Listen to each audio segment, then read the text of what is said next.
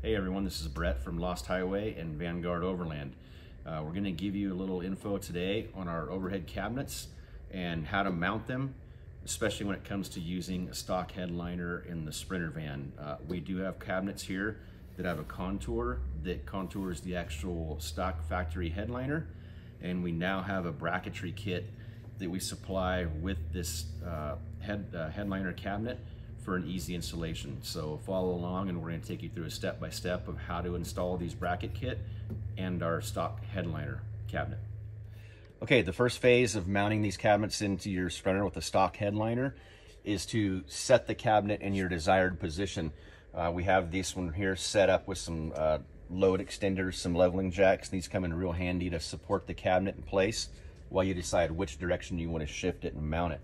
Um, in these vans, the headliner seam usually always lands on a structural roof beam in the ceiling of the van. So we try to use those for reference.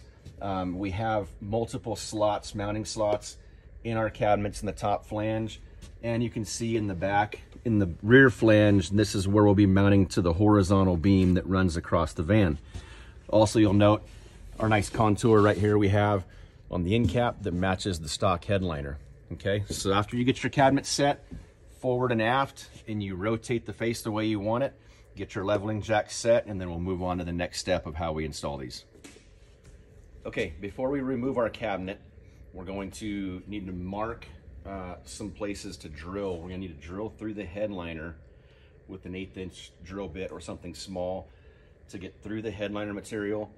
And we're actually gonna put a drill like witness mark on the back steel. So we're not gonna drill all the way through the steel, but we are gonna go through the headliner, through our slots in the cabinets. We're gonna make a mark on the horizontal beam in the back.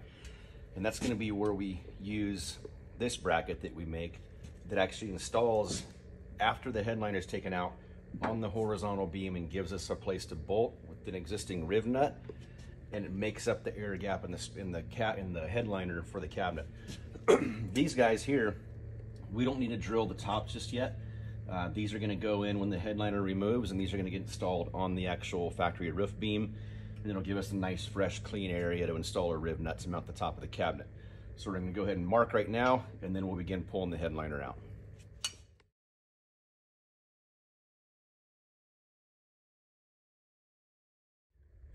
Okay, we've got some uh, Sharpie marks here that we that we marked on the headliner through the slot in the back of the cabinet. So what we want to do is we want to go ahead and drill through a few of these and we want to hit the steel in the back.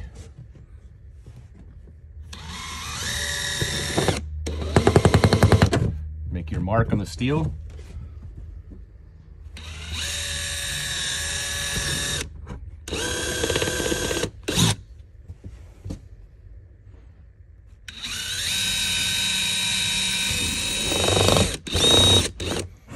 And then now we'll remove the headliner.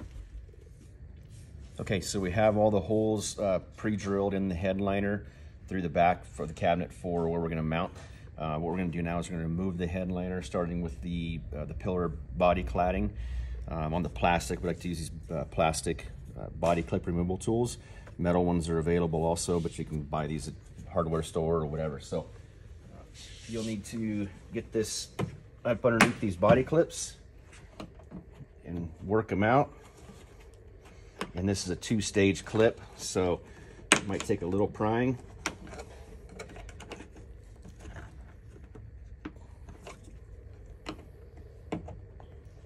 Pop the outer cap.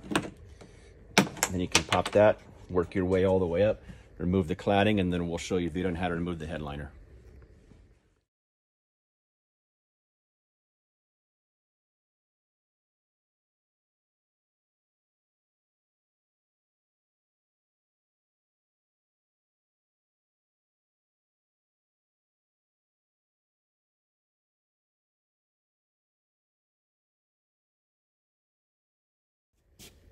Okay, so all your cladding has been pulled off, body clips removed.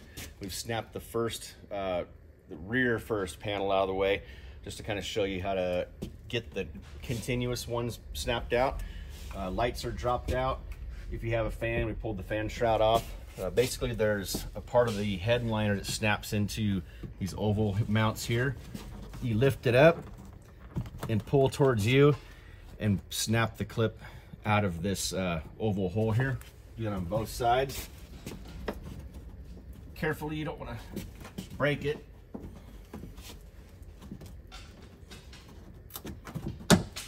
Just like that. And then you want to go through and pop the headliner down from up here. It's got plastic clips. You just give it a good solid tug.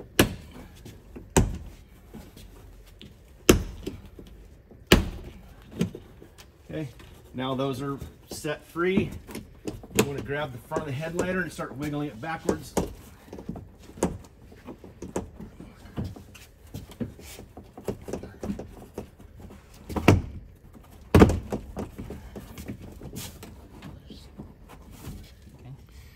Okay, on a side note, these are the clips that are actually fastened into the factory headliner, the plastic factory Mercedes clips.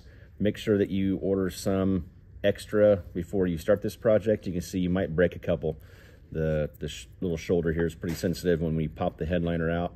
Uh, they will snap. You might lose a couple here in this process, so make sure you get a bag full of these. I think we can get them on Amazon or maybe contact your local Mercedes dealer. All right. Okay, now you've got your headliner panels out. These We took three panels out to get where we're gonna mount these two cabinets. Uh, we've located our witness marks from our drill where we went through the headliner and marked the actual steel in the van. We're gonna uh, circle those so we can see them good. We're gonna put a center punch on those marks and get a good center point indicator for our drill. and that's where we're to mount, mount our spacer brackets, the lower spacer brackets for the actual head uh, cabinet mounting. We'll show you that next. Okay, as you can see in the factory headliner, there's a curve here that returns back to the wall. These are the clips that we removed from the oval cutouts on the side of the Sprinter. Um, this is our bracket, our spacer bracket that has a preset insert, uh, threaded insert into it. This makes up the gap that you need between the, the sidewall of the van and the headliner to bolt into this so you're not crushing this fabric uh, headliner when you bolt the cabinet on. So we're going to show you how to install these now that we remove these headliner panels. Okay, so we found our three marks that we use for the lower the lower mounting of the uh, the cabinet to the side of this van. On this bracket, these are two screw holes that you're going to use to either screw or rivet this into the van. This center indicator is what you want to line up on your hole that you made or your witness mark you made with your drill. So what you want to do is visibly line this hole up with this mark in the back. Then now you can mark where you're going to install these. You can do that through all three points go back, you can pre-drill and rivet these, or you can uh, pre-drill, run some heavy sheet metal screws, however you want. We prefer to rivet these to the wall so that screws don't vibrate out. Okay, this is the upper bracket that we make that basically attaches to the roof beam of the van. Um, what it does when you pull the headliner, you're gonna notice a whole series of holes in here, factory holes. These ones from here on out are, are in the roof beam for the headliner attached to, but we've made a cover plate that goes on here that gives you all new steel so that you're not, when you drill up into the uh, roof beam from our cabinet, you're not mistakenly hitting a factory hole. So what we'll do is we'll place these in position and then from the side, you can see over here, we've got four ears, two on each side. We'll pre-drill here, pre-drill back here, here and here and attach these with, with uh, 3 16 rivets also. And you can do that in two spots um, after your spacers and then we'll be ready to start putting things back together and installing the cabinet.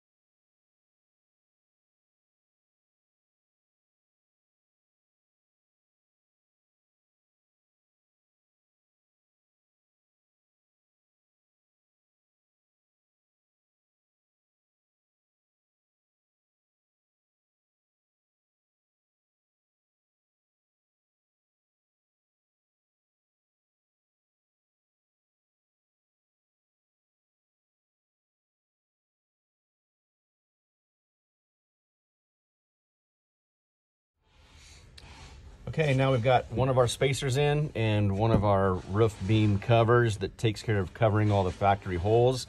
This gives us fresh, clean metal to drill and riv nut through our headliner. And then uh, our spacer has a, like I said before, a preset uh, threaded riv nut in there.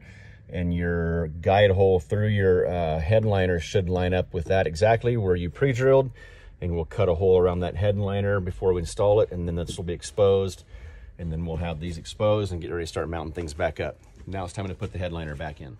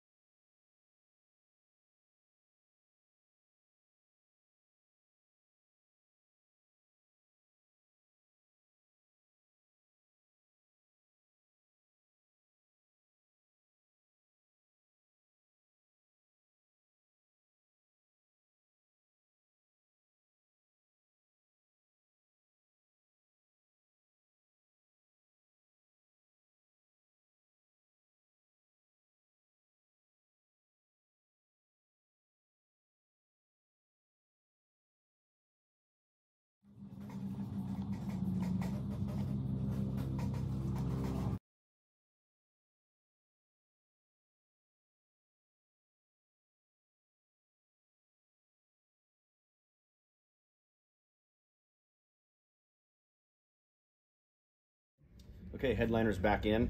Uh, cabinets are mounted, nice and secure. We've got three bolts, quarter 20 bolts holding the back in on the lower section, two up on the top at these, at these uh, roof ribs here. And everything's nice and stout.